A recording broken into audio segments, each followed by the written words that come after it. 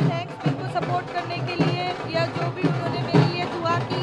मेरे गाँव वालों ने, मेरी एकेडमी वालों ने सभी के लिए बहुत बहुत थैंक यू बस ऐसे ही प्यार मिलता रहे आगे भी और जो सिल्वर है वो सिल्वर गोल्ड में बदले आगे जाके। बस यही दुआ है।